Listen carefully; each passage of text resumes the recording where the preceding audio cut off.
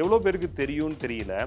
நீங்கள் வந்து நம்ம இங்கே வந்து ஒரு இன்ஃபோசிஸோ ஆர் ஏதோ ஒரு பெரிய கம்பெனி சிடிஎஸ் இந்த மாதிரி கம்பெனியில் எடுத்துக்கங்க ஓகே ஒரு டுவெல்த் ஸ்டாண்டர்ட் படிக்கிற பையனுக்கு வேலை கொடுப்பாங்கன்னா கொடுக்க மாட்டாங்க ஓகே அதே நீங்கள் கூகுளில் போய் கேட்டிங்கன்னா அவங்க உங்கள் டிகிரியை பார்க்க மாட்டாங்க. உங்களுக்கு என்ன ஸ்கில் இருக்குது அப்படின்னு தான் பார்ப்பாங்க. நீங்கள் படிக்காட்டியும் உங்கள் ஸ்கில் அதிகமாக இருந்ததுன்னா உங்களுக்கு வேலை கிடைக்கும். டூ டேஸ் முன்னாடி ஓகே யூஎஸ் வந்து இந்தியாவோட அம்பாசிடர் அது ஒரு டூ இயர்ஸ் இல்லாமல் இருந்தாங்க. இப்போ வந்து யூஎஸ் வந்து ஒரு இந்தியாவோட அம்பாசிடர் வந்து அப்பாயிண்ட் பண்ணியிருந்தாங்க. அவர் ஒரு ஜோக்குக்காக ஒரு ஒன்று சொன்னார். இந்தியனாக இருந்தீங்கன்னா ஒரு யூஎஸ் கம்பெனிக்கு சிஇஓ ஆக முடியாது. அவர் இப்போ என்ன சொல்கிறாருன்னா நீங்கள் இந்தியனாக இருந்தால் மட்டும்தான் யூஎஸ் கம்பெனிக்கு சிஇஓ ஆக முடியும். ஸோ அப்படிங்கிற அளவுக்கு நம்ம வளர்ந்துட்டோம் நாலு கண்ட்ரி இந்தியாவில் உள்ள ஸ்டூடெண்ட்ஸ் மேக்ஸிமம் மேக்ஸிமம் எந்த நாலு கண்ட்ரிக்கு போகிறாங்க அப்படின்னு பார்த்தீங்கன்னா யுஎஸ் யூகே ஆஸ்திரேலியா கனடா. இந்த நாலு பிக் ஃபோர் அப்படின்னு சொல்லுவோம். இதுக்கு தான் வந்து மேக்ஸிமம் ஸ்டூடெண்ட்ஸ் வந்து இந்தியாவிலேருந்து போகிறாங்க ரெண்டு இன்டேக் சொல்லுவாங்க. ஃபால் இன்டேக் அப்படின்னு சொல்லுவாங்க. அது வந்து ஆகஸ்ட் செப்டம்பரில் இருக்கும். இன்னொன்று வந்து ஸ்ப்ரிங் இன்டேக் அப்படின்னு சொல்லுவாங்க ஜனவரியில் ஃபால் இன்டேக் அப்ளிகேஷன் வந்து டுவெண்ட்டி ஃபைவ்க்கு அக்டோபர் டுவெண்ட்டி ஃபோரே ஓப்பன் ஆயிரும். ஒன் இயர் முன்னாடியே அப்ளிகேஷன் ஓப்பன் ஆயிரும். ஸோ அது வந்து ஒரு eighteen to twenty four months process நீங்கள் அப்படி பண்ணீங்கன்னா ப்ராப்பராக போகலாம் ரெண்டாயிரத்தி பதினாலில் வந்து நாற்பத்தஞ்சாயிரம் கேர்ள்ஸ் ஸ்டூடெண்ட்ஸ் இந்தியாவிலேருந்து வெளிநாட்டில் படிக்க போனாங்க. ஓகே இன்றைக்கி பார்த்தீங்கன்னா almost hundred and twenty five thousand one point two five lakhs girls students படிக்க போகிறாங்க அதாவது வந்து இது என்ன சொல்லுதுன்னா thirty seven percentage of students வந்து ஐ மீன் லைக் ஒரு போகிற ஸ்டூடெண்ட்ஸில் thirty seven percentage of the students வந்து கேர்ள்ஸ் ஸ்டூடெண்ட்ஸ்னு சொல்கிறாங்க ஓகே நீ ஒரு அரியர் வச்சு யூஜியை கிளியர் பண்ணாலும் அப்ராட் போகலாம் முடியாதுங்கிறது கிடையவே கிடையாது. கட்டாயம் போகலாம் முடியாதுங்கிறது கிடையாது. சில யூனிவர்சிட்டி அன்டில் அஞ்சு அரியர் வரைக்கும் ஈவன் நல்ல யூனிவர்சிட்டியே அன்டில் ஐ மீன் அஞ்சு யூனி அஞ்சு அரியர் வரைக்கும் உங்களை அலோவ் பண்ணுவாங்க.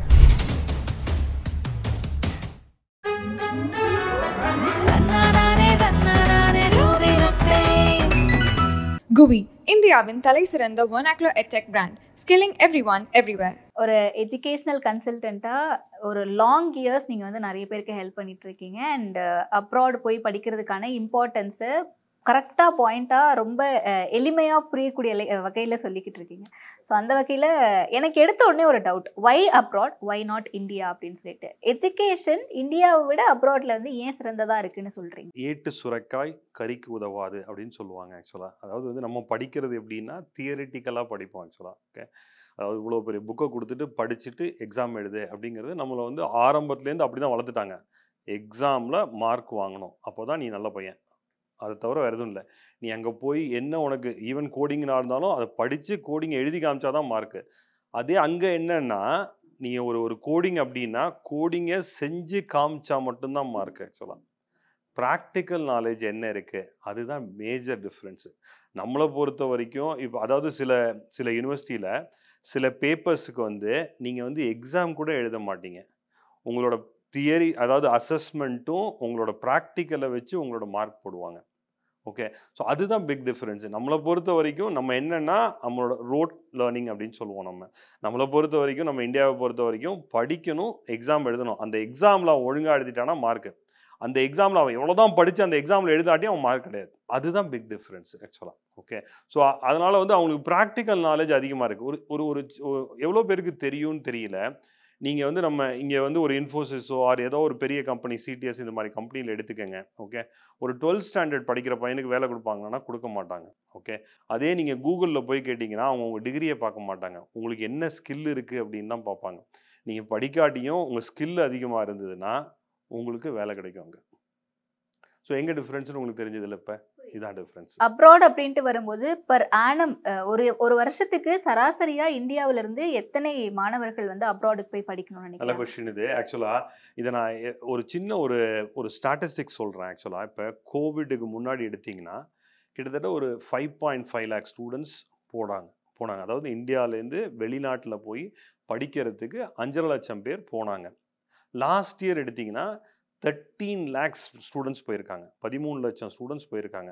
அந்த ஸ்டாட்டிஸ்டிக்ஸ் எப்படி போகுதுன்னா நெக்ஸ்ட் இயரோ இன்னும் ஒரு டூ இயர்ஸில் அது இருபது லட்சம் ஆயிரும் அப்படின்னு போட்டிருக்காங்க. அதாவது டூ தௌசண்ட் நைன்டீன்லேருந்து டூ தௌசண்ட் டுவெண்ட்டி ஃபைவ்ல டுவெண்ட்டி ஃபைவ் வரைக்கும் அந்த ஆறு வருஷ காலத்தில் பார்த்தீங்கன்னா நாலு மடங்காயிடுச்சு அஞ்சு லட்சம் ஸ்டூடெண்ட்ஸ் வந்து இருபது லட்சமாக மாறும் அப்படின்னு சொல்கிறாங்க ஸோ எவ்வளோ பேர் போகிறாங்கங்கிற அந்த ஷிஃப்ட் பார்த்தீங்கன்னா இது ஒரு பெரிய பெரிய நம்பர் அதே நீங்கள் இன்னும் கொஞ்சம் அந்த ஸ்டடியை இன்னும் கொஞ்சம் எடுத்துகிட்டு போனீங்கன்னா என்ன சொல்கிறாங்கன்னா டுவெண்ட்டி தேர்ட்டியில் அதாவது முப்பது ரெண்டாயிரத்தி முப்பதாவது வருஷத்தில் India will be the man power supplier for world நம்ம இது வரைக்கும் எந்த மாதிரி மேன் பவர் நம்மகிட்ட போகணும்னா அதாவது அன்ஸ்கில்டு லேபர் தான் நம்ம வந்து இப்போ நீங்கள் கல்ஃபெல்லாம் எடுத்திங்கன்னா மோஸ்ட்லி அன்ஸ்கில்டு லேபர் தான் நிறையா போயிட்டுருக்காங்க டூ தௌசண்ட் தேர்ட்டியில் பார்த்தீங்கன்னா இந்தியாவிலேருந்து ஸ்கில்டு லேபர் எல்லா இடத்துலையுமே இருப்பாங்க ஆக்சுவலாக ஸ்கில்டு லேபர் எல்லா இடத்துலையுமே இருப்பாங்க.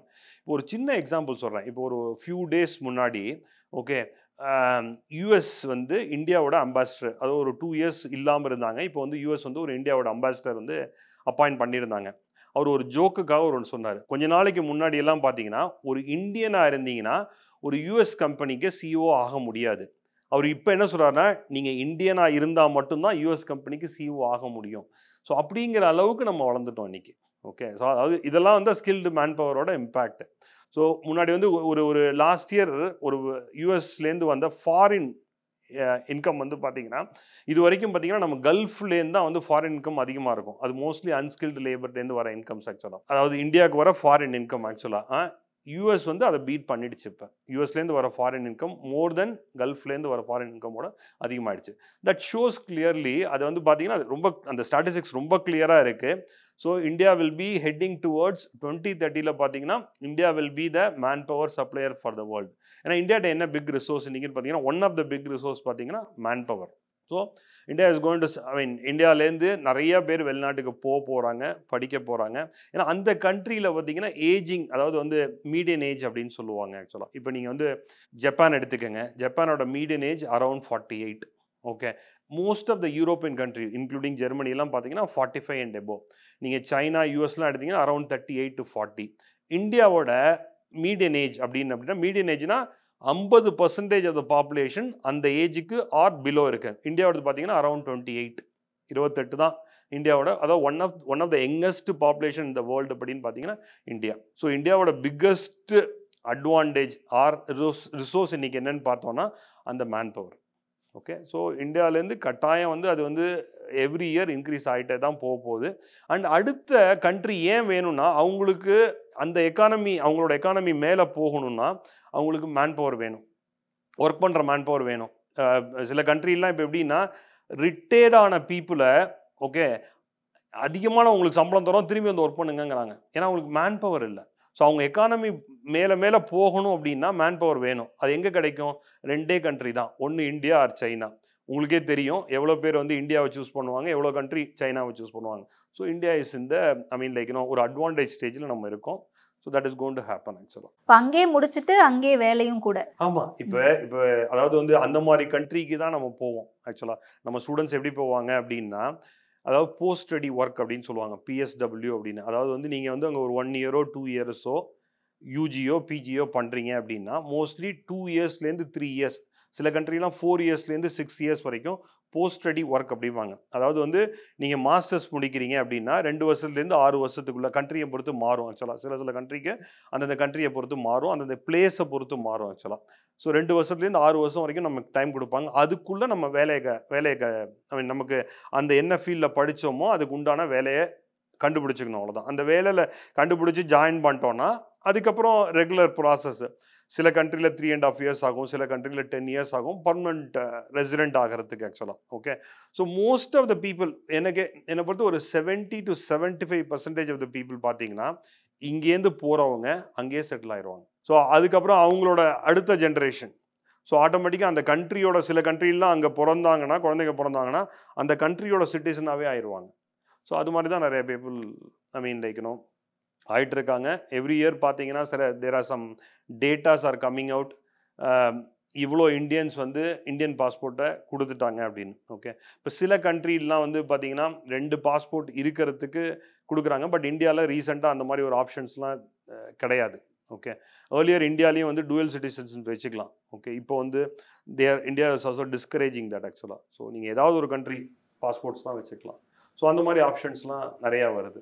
ஓகே ஸோ அப்ராட் படிக்கணும் அப்படின்ட்டு சூஸ் பண்ணியாச்சு. பட் அப்ராட்ல வந்து எந்த யூனிவர்சிட்டி நல்லா இருக்கும் இல்லை எந்த கண்ட்ரி போகலாம் அப்படின்ற ஒரு கன்ஃபியூஷன் வரும்ல. ஸோ எது. தி பெஸ்ட் ஸோ ஆக்சுவலாக வந்து பிக் ஃபோர் அப்படின்னு சொல்லுவாங்க. நம்ம அதாவது நாலு கண்ட்ரி இந்தியாவில் உள்ள ஸ்டூடெண்ட்ஸ் மேக்ஸிமம் மேக்ஸிமம் எந்த நாலு கண்ட்ரிக்கு போகிறாங்க அப்படின்னு பார்த்தீங்கன்னா யுஎஸ் யூகே ஆஸ்திரேலியா கனடா இந்த நாலு பிக் ஃபோர் அப்படின்னு சொல்லுவோம். இதுக்கு தான் வந்து மேக்ஸிமம் ஸ்டூடெண்ட்ஸ் வந்து இந்தியாவிலேருந்து போகிறாங்க மற்ற கண்ட்ரி எல்லாமும் இருக்குது இப்போ நீங்கள் நியூசிலாந்து எடுத்துக்கலாம் அயர்லாந்து எடுத்துக்கலாம் ஜெர்மனி எடுத்துக்கலாம் சம் யூரோப்பியன் கண்ட்ரிஸ் எடுத்துக்கலாம். இதுக்கெல்லாமும் போகிறாங்க பட் ஆனால் மேக்ஸிமம் நம்பர் ஆஃப் ஸ்டூடெண்ட்ஸ் போகிறாங்கன்னு பார்த்தீங்கன்னா இந்த நாலு கண்ட்ரிக்கு தான் ஆக்சுவலாக ஓகே எதனால் அப்படின்னு பார்த்தீங்கன்னா ஃபர்ஸ்ட் திங் இஸ் நீங்கள் சொன்னீங்களே ரேங்கிங் அதாவது வந்து கியூஎஸ் ரேங்கிங் அப்படின்னு சொல்லுவாங்க. அதாவது வந்து வேர்ல்டில் உள்ள எல்லா யூனிவர்சிட்டியும் நல்ல யூனிவர்சிட்டிஸ் எல்லாமே அந்த கியூஎஸ் ரேங்கிங் என்ன அப்படின்னு பார்த்தீங்கனாலே அது one of the I mean like you know ranking to check first first நீங்கள் என்ன பார்க்கணுன்னா அந்த எந்த யூனிவர்சிட்டிக்கு போகிறோமோ இங்கே நம்ம காலேஜ்னு சொல்கிறோம்ல அங்கே வந்து மோஸ்ட்லி யூனிவர்சிட்டின்னு சொல்லுவோம் ஆக்சுவலாக ஓகே நம்ம இங்கே நிறையா காலேஜ் ஒரு யூனிவர்சிட்டி கீழே வருது. அது மாதிரி இப்போ டீம்டு யூனிவர்சிட்டி சொல்கிறோம்ல அங்கே எல்லாமே யூனிவர்சிட்டியாக இருக்கும். Most of things it will be university so எந்த யூனிவர்சிட்டிக்கு போகிறீங்களோ அவங்களோட கியூஎஸ் ரேங்கிங் என்ன அப்படின்னு. அதுக்கப்புறம் நம்ம இங்கே டிபார்ட்மெண்ட் அப்படின்னு சொல்லுவோம் அங்கே ஸ்கூல்னு சொல்லுவாங்க. அதாவது computing school mechanical school civil school அப்படின்னு சொல்லுவாங்க. அந்த ஸ்கூலோட ரேங்கிங் என்ன? இது ரெண்டுத்தையும் மேஜராக நீங்கள் பார்த்தீங்கனாலே டு அ கிரேட்டர் எக்ஸ்டென்ட் வந்து நீங்கள் போகிறது நல்ல காலேஜா நல்ல யூனிவர்சிட்டியா இல்லையாங்கிறது உங்களுக்கு தெரிஞ்சிடும் அந்த சில சமயம் அந்த யூனிவர்சிட்டி ரேங்கிங்கை மட்டும் பார்த்துட்டு போவாங்க. ஸ்கூல் ரேங்கிங்கை மோஸ்ட் ஆஃப் த பீப்புள் பார்க்க மாட்டாங்க. அது வந்து சரியான விதம் இல்லை. சில கா சில யூனிவர்சிட்டியில் யூனிவர்சிட்டி ரேங்கிங் நல்லாயிருக்கும் நீங்கள் போகிற அந்த பர்டிகுலர் டிபார்ட்மெண்ட் ஸ்கூலோட ரேங்கிங் நல்லா இல்லாமல் இருக்கலாம். ஸோ ரெண்டுத்தையும் கட்டாயம் பார்க்கணும் அதுக்கப்புறம் நீங்கள் டிசைட் பண்ணலாம். அதுக்கப்புறமும் சில இதில் என்னென்னா யூனிவர்சிட்டி ரேங்கிங் அதிகமாக இருக்கும். சம்டைம் அஃபோர்டபிலிட்டி பண்ண முடியாது. இப்போ நான் சின்ன எக்ஸாம்பிள் சொல்கிறீங்கன்னா இப்போ ஒரு டாப் ஹண்ட்ரட் யூனிவர்சிட்டி வந்து யூஎஸில் எடுத்தீங்கன்னா டாப் ஹண்ட்ரட் ரேங்கிங் யூனிவர்சிட்டி எடுத்தீங்கன்னா மினிமம் மினிமம் வந்து fifty to sixty thousand USD per annum so நீங்கள் சிக்ஸ்டி தௌசண்ட் எடுத்தீங்கன்னா forty five lakhs fifty lakhs one இயருக்கு எடுத்தீங்கன்னா one crore plus living expenditure அவ்வளோ நம்மளால் அஃபோர்டபிலிட்டி பண்ண முடியுமா? அப்படிங்கிறது ஒரு கொஷின் வரும். ஸோ அதுலேயே பப்ளிக் யூனிவர்சிட்டி இருக்குது ஸ்டேட் யூனிவர்சிட்டி இருக்குது ஸோ அந்த மாதிரி பப்ளிக் யூனிவர்சிட்டி ஸ்டேட் யூனிவர்சிட்டி பார்த்தீங்கன்னா ஃபீஸ் கம்மியாக இருக்கும். Ten to twenty thousand USD தான் இருக்கும் ஆக்சுவலாக ஓகே ஸோ அது மாதிரி ஒரு ஜஸ்ட் ஒரு ரேங்கிங்கை மட்டும் வச்சு போகிற விஷயம் இல்லை. நிறைய காம்பினேஷன்ஸ் பார்த்துட்டு டிசைட் பண்ணுறது நல்லது. அந்த சில் நிறைய பேர் பண்ணுற தப்பு இன்னொரு தப்பு என்னென்னா இப்போ நான் ஒரு ஒரு பிஜிக்கு போகணும் அப்படின்னு மாஸ்டர்ஸ் போகணும் அப்படின்னு நினைக்கிறாங்க அப்படின்னா கடைசி இயர்ஸ் கடைசி ஃபோ ஃபைனல் இயர் படிக்கும்போது இன்ஜினியரிங்கோ ஆர் லைக்கனோ ஆர்ட்ஸ் அண்ட் சயின்ஸோ படிக்கணும். கடைசி இயர் தான் வந்து செக் பண்ணுவாங்க. இது வந்து ஒரு ஒரு மாதம் ரெண்டு மாதம் ப்ராசஸ் இல்லை. அட்லீஸ்ட் ஒரு one and half years eighteen months to twenty four months முன்னாடியே நீங்கள் டிசைட் பண்ணிங்கன்னா ஒரு ரிசர்ச் பண்ணிவிட்டு அதுக்கப்புறம் அதுக்கு என்ன எக்ஸாம்ஸு எல்லாத்தையும் பண்ணீங்கன்னா ப்ராப்பராக நீங்கள் போகலாம்.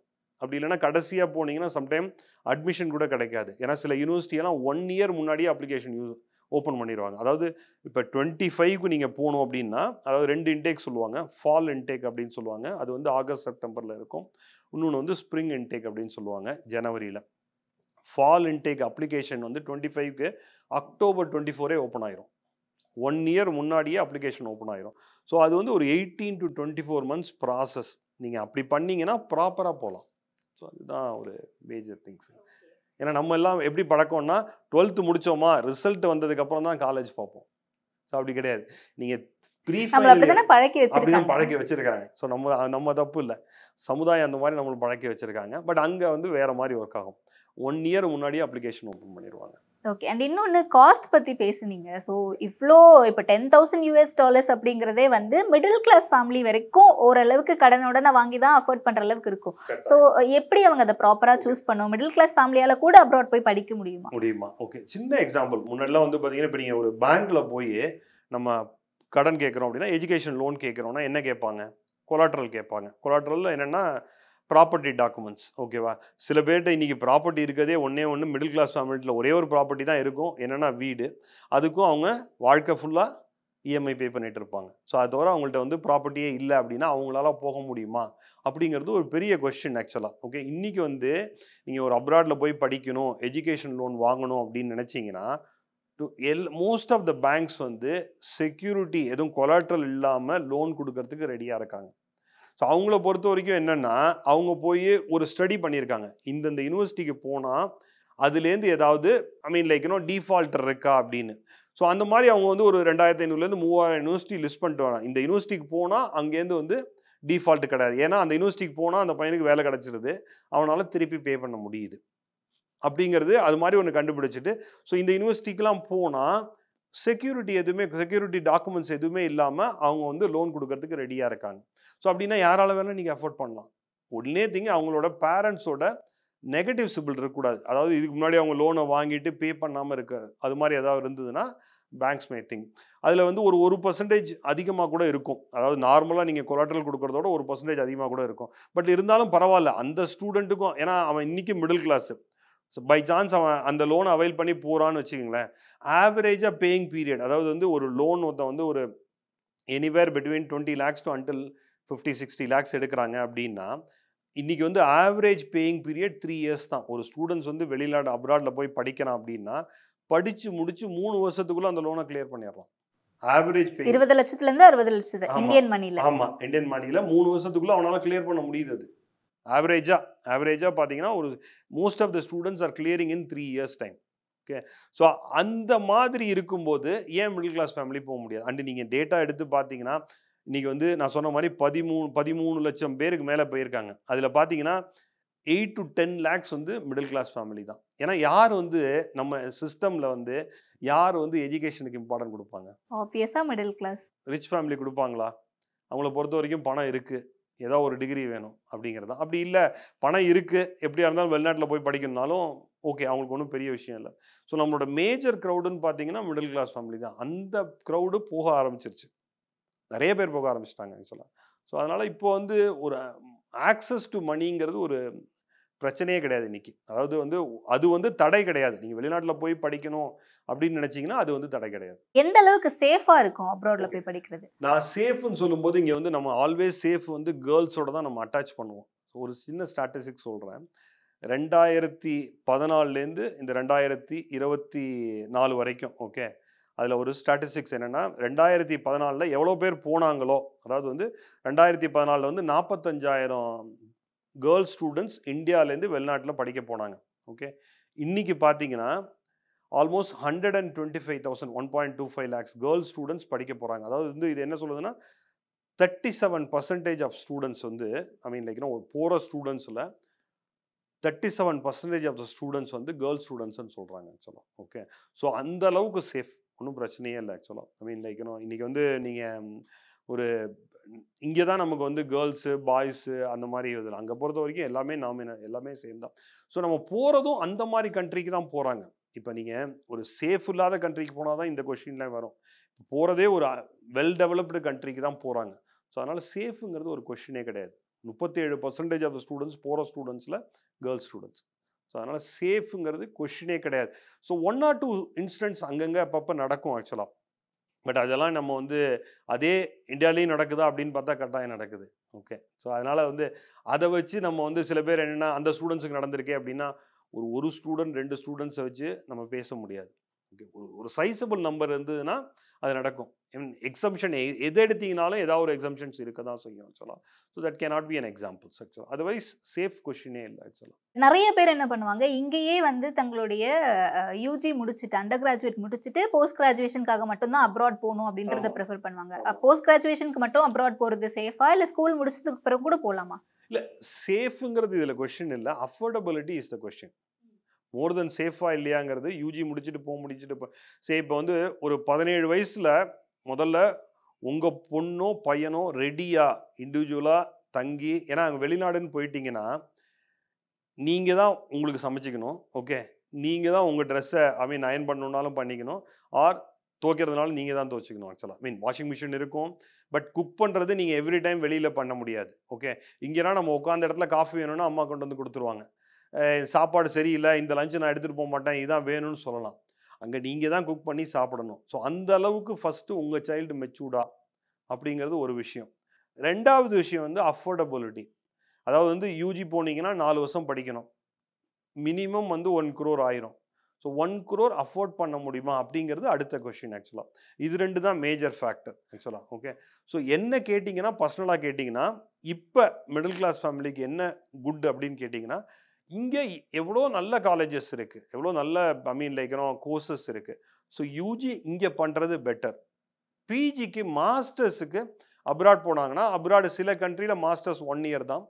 சில கண்ட்ரியில் டூ இயர்ஸ் மாஸ்டர்ஸ் ஆக்சுவலாக ஸோ அதனால் அஃபோர்டபிலிட்டி வைஸும் பார்த்தீங்கன்னா மினிமம் ஒரு பதினஞ்சு லட்சம் மேக்ஸிமம் ஒரு ஐம்பது அறுபது லட்சத்துக்குள்ளே அவங்க மாஸ்டர்ஸ் எல்லா எக்ஸ்பெண்டிச்சர்ஸையும் வச்சு இன்னைக்கு ஒரு இருபது இருபது இருபத்தஞ்சு லட்சம் வந்து ஒரு பெரிய பணமே இல்லை ஆக்சுவலாக ஈவன் மிடில் கிளாஸ் ஃபேமிலியே வச்சுங்களேன் ஒரு டுவெண்ட்டி ஃபைவ்ல தேர்ட்டி லேக்ஸ் தான் நான் செலவு பண்ணணும் என் பையனை வெளிநாடு அனுப்ப முடியுமா அப்படின்னா நிறைய பேரால் ஓகேன்னு சொல்லிடுவாங்க. ஏன்னா இன்றைக்கி ஒரு ஃபே ஒரு ஃபேமிலின்னு எடுத்தீங்கன்னா ரெண்டு ஹஸ்பண்ட் அண்ட் ஒய்ஃப் ரெண்டு பேரும் ஒர்க் பண்ணுற ஃபேமிலியெல்லாம் இருக்குது ஒரு ரெண்டு மூணு லட்சம் சம்பளம் வாங்குறவங்களுக்கு ஒரு இருபது இருபத்தஞ்சு லட்சங்கிறது ஒரு பெரிய விஷயமே இல்லை ஆக்சுவலாக ஸோ பெட்டர் பிஜிக்கு அதாவது இந்த ரெண்டும் இல்லை என்னால் செலவு பண்ண முடியும் அப்படின்னு நினச்சாங்கன்னா அண்ட் உங்கள் குழந்தை வந்து இதுக்கெல்லாம் ரெடியாக இருக்குது அப்படின்னா கட்டாயம் யூஜிக்கு அனுப்பலாம். அப்படி இல்லைன்னா மாஸ்டர்ஸ் இஸ் பெட்டர் ஆக்சுவலாக மெரிட்ஸ் அண்ட் ஸ்காலர்ஷிப்னு ஒன்று இருக்குல்ல. ஸோ இவ்வளோ பர்சன்டேஜ் எடுத்தால் தான் என்னால் அப்ராட் போய் படிக்க முடியும். நான் கம்மியாக வாங்கிட்டேன். என்னால் அப்ராட் போக முடியுமான்ற ஒரு ஹெசிடேஷன்லேயே நிறைய பேர் அதை ஸ்கிப் பண்ணிடுவாங்க. அண்ட் இன்னொன்று ஸ்காலர்ஷிப்ஸ்லேயும் அங்கே போய் படிக்கலாம் அப்படின்ற ஒரு ஆப்பர்ச்சுனிட்டி இருக்குது அது நிறைய பேருக்கு தெரியல ஸோ அதை. பற்றி கொஞ்சம் எக்ஸ்பிளைன் ஜென்ரல் மித் என்னன்னா ஓகே அப்ராட்லன்னா நல்லா படிக்கிற பையனுக்கு தான் அப்ராடில் மாஸ்டர்ஸ். நீ இங்கேயே படிக்கல அங்கே போய் என்ன பண்ண போகிற அப்படிங்கிறது ஜென்ரல் மெத்து அதுக்கு நான் ஒரு ஒரு சின்ன மெட்டஃபர் சொல்கிறேன் ஒரு ஈக்குவலண்ட் ஒன்று சொல்கிறேன் என்னென்னா முன்னாடி இதே ஒரு வந்து நான் படிக்கிற காலத்தில் இன்ஜினியரிங் போகிறது பெரிய விஷயம். இன்ஜினியரிங்கா ஓ இன்ஜினியரிங் போகிறானா ஒன்று அஃபோர்டபிலிட்டி ஒன்று மார்க்கு காமன் என்ட்ரன்ஸ் எக்ஸாமு அதெல்லாம் எழுதி தான் போகணும் ஓகே இன்றைக்கி வந்து தமிழ்நாட்டில் மட்டும் எடுத்தீங்கன்னா ஒரு நானூறுலேருந்து நானூற்றம்பது இன்ஜினியரிங் காலேஜ் இருக்குது இன்றைக்கி வந்து பேசிக் திங் என்னென்னா இன்ஜினியரிங் தான். டுவெல்த்து முடிச்சிட்டியா? என்ன காலேஜ் போகிறதுல இல்லை.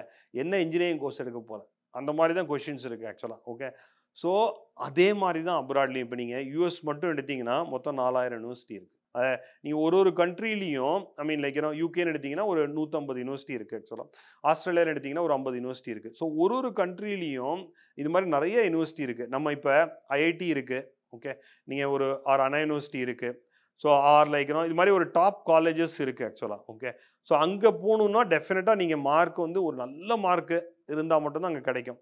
சரி நான் வந்து ஒரு செவன்ட்டி பர்சன்டேஜ் எயிட்டி பர்சன்டேஜ் வந்து இதில் எடுக்கிறேன் டுவெல்த் ஸ்டாண்டர்டில் இன்ஜினியரிங் படிக்க முடியுமா முடியாதா? தமிழ்நாட்டில்.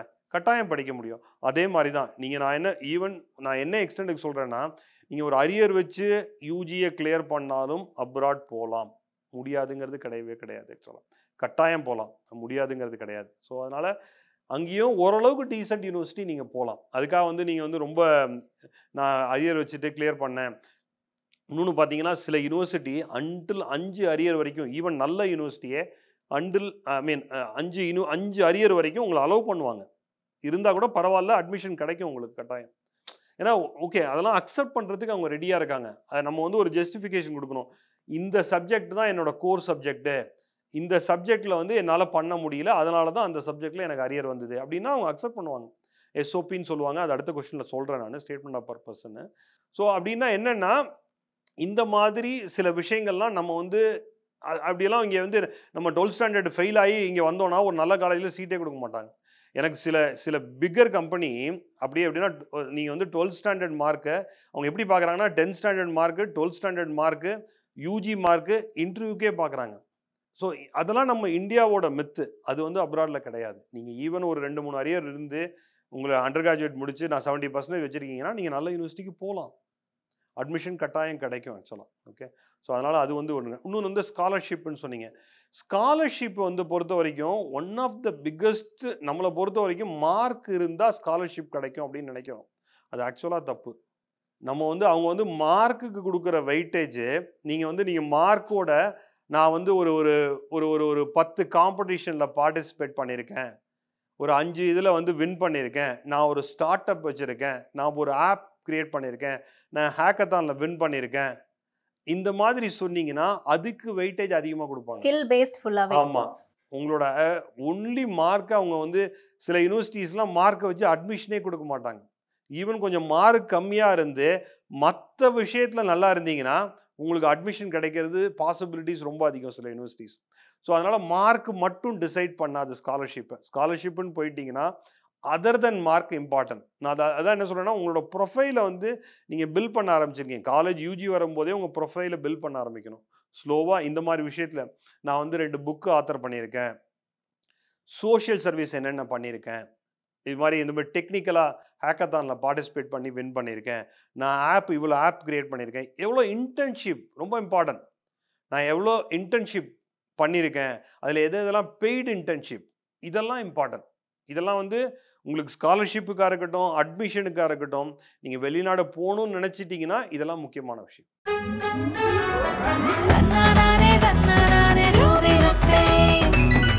GUI, in the oven, Thalai Siranda vernacular edtech brand, skilling everyone, everywhere.